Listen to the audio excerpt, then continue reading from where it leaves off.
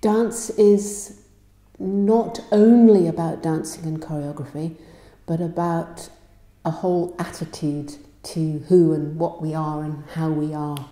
I think to introduce young people to this potential is very exciting. It's essential that young people are part of creative programs because their future will insist that they have creative solutions to a complicated world.